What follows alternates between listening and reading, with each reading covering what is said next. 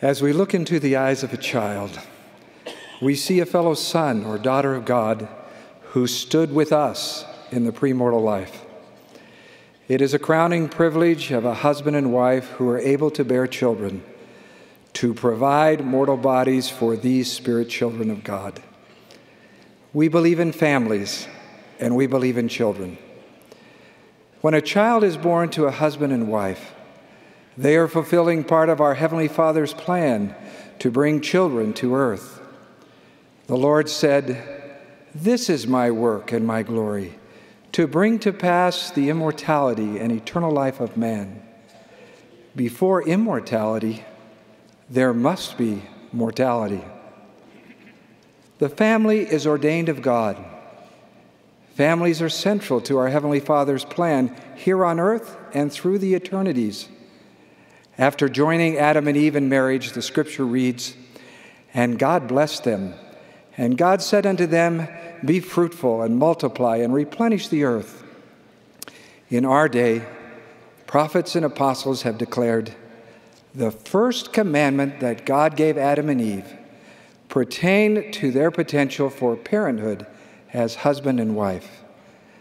We declare that God's commandment for his children to multiply and replenish the earth remains in force.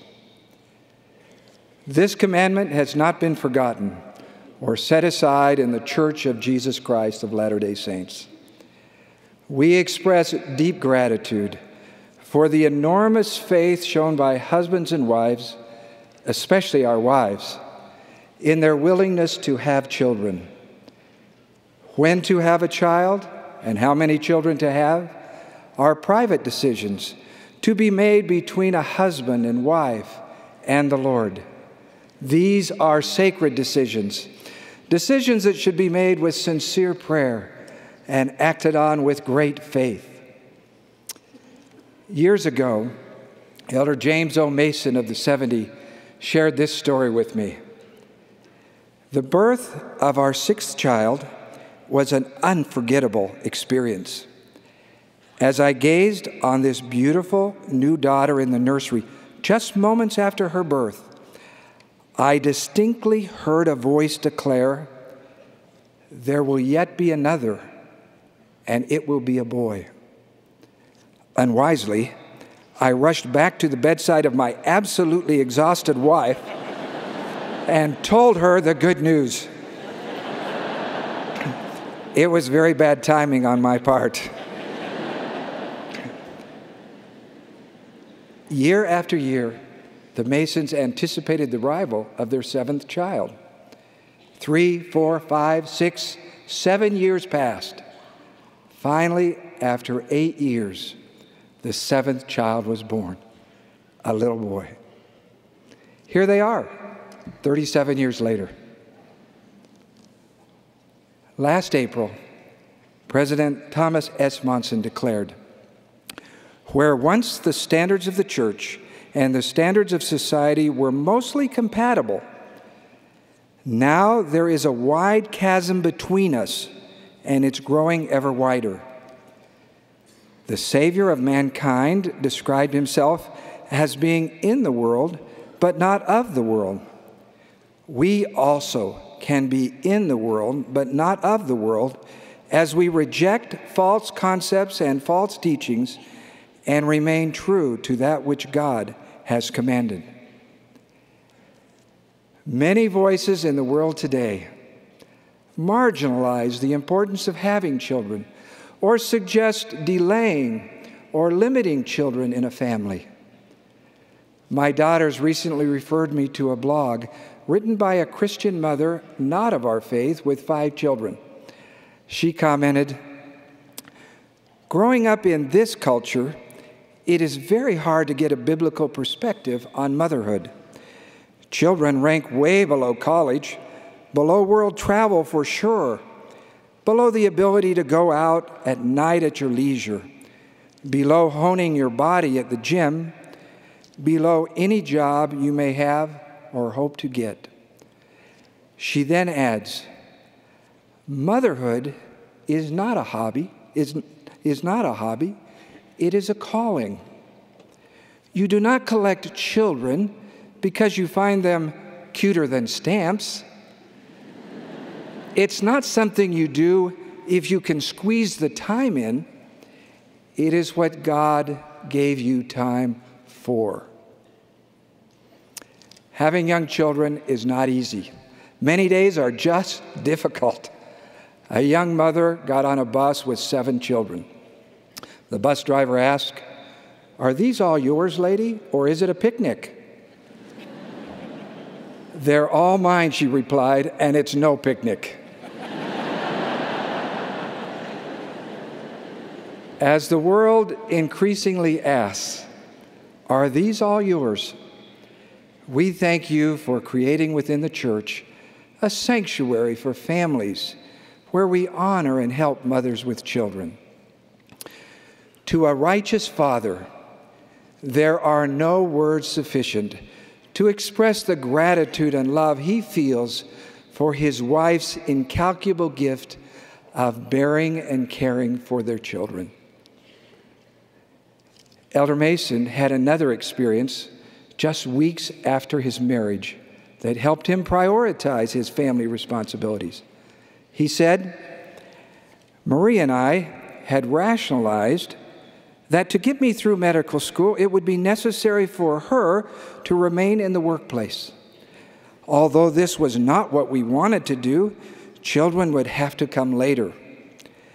While looking at a church magazine at my parents' home, I saw an article by Elder Spencer W. Kimball, then of the Quorum of the Twelve, highlighting responsibilities associated with marriage. According to Elder Kimball, one sacred responsibility was to multiply and replenish the earth.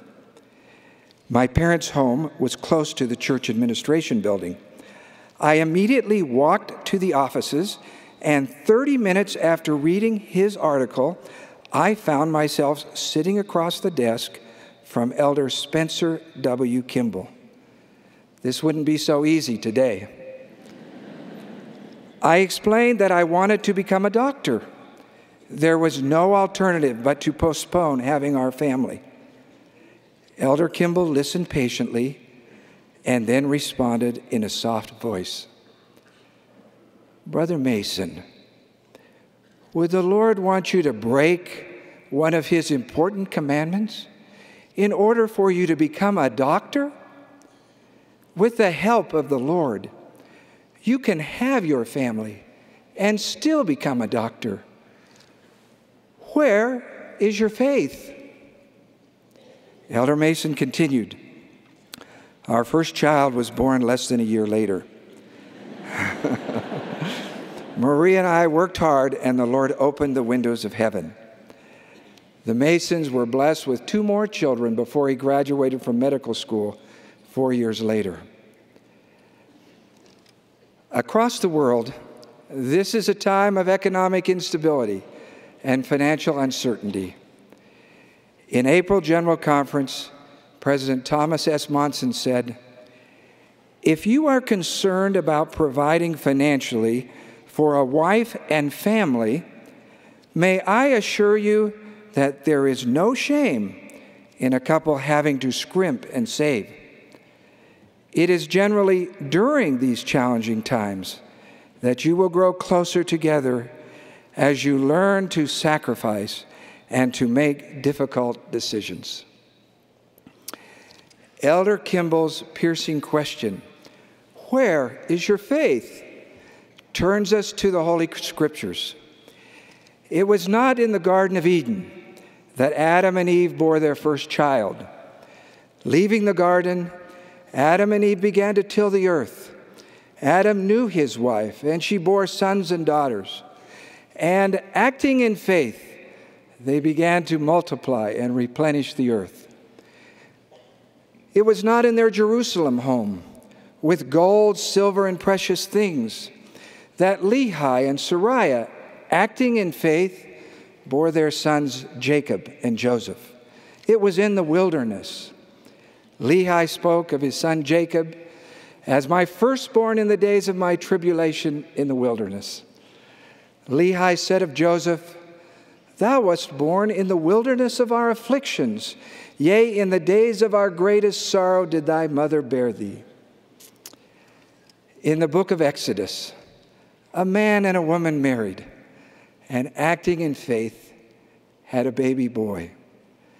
There was no welcoming sign on the front door to announce his birth. They hid him because Pharaoh had instructed that every newborn male Israelite should be cast into the river. You know the rest of the story. The baby lovingly laid in a little ark made of bulrushes, placed in the river, watched over by his sister, found by Pharaoh's daughter, and cared for by his own mother as his nurse. The boy was returned to Pharaoh's daughter, who took him as her son and called him Moses. The most beloved story of a baby's birth. There was no decorated nursery or designer crib, only a manger for the Savior of the world. In the best of times and the worst of times, the true saints of God, acting in faith, have never forgotten, dismissed, or neglected God's commandment to multiply and replenish the earth.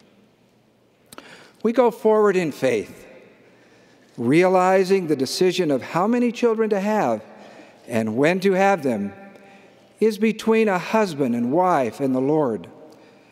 We should not judge one another on this matter. The bearing of children is a sensitive subject that can be very painful for righteous women who do not have the opportunity to marry and have a family.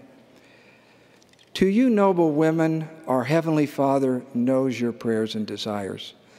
How grateful we are for your remarkable influence, including reaching out with loving arms to children who need your faith and strength. The bearing of children can also be a heartbreaking subject for righteous couples who marry and find that they are unable to have the children they so anxiously anticipated, or for a husband and wife who plan on having a large family but are blessed with a smaller family. We cannot always explain the difficulties of our mortality. Sometimes life seems very unfair especially when our greatest desire is to do exactly what the Lord has commanded. As the Lord's servant, I assure you that this promise is certain. Faithful members whose circumstances do not allow them to receive the blessings of eternal marriage and parenthood in this life will receive all promised blessings in the eternities as they keep the covenants they have made with God. President J. Scott Dorius of the Peru Lima West Mission told me their story. He said, Becky and I were married for 25 years without being able to have or adopt children. We moved several times. Introducing ourselves in each new setting was awkward and sometimes painful. Ward members wondered why we didn't have children. They weren't the only ones wondering. When I was called as a bishop, ward members expressed concern that I did not have any experience with children and teenagers. I thanked them for their sustaining vote and asked them to allow me to practice my child raising skills on their children. they lovingly obliged. We waited, gained perspective, and learned patience. After 25 years of marriage, a miracle baby came into our lives. We adopted two year old Nicole and then newborn Nikolai. Strangers now compliment us on our beautiful grandchildren. we laugh and say, They are our children. We have lived our lives backwards. Brothers and sisters, we should not be judgmental with one another in this sacred and private responsibility.